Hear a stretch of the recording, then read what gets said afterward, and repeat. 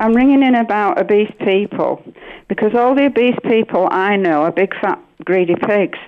So I oh, think Oh, it should be the other way round, and I think that they should pay for a double seat on a bus if they need one. The same on aeroplanes. I think they should pay for an extra large bed if they need it in hospital. I think they should pay for any operations they have on the stomach.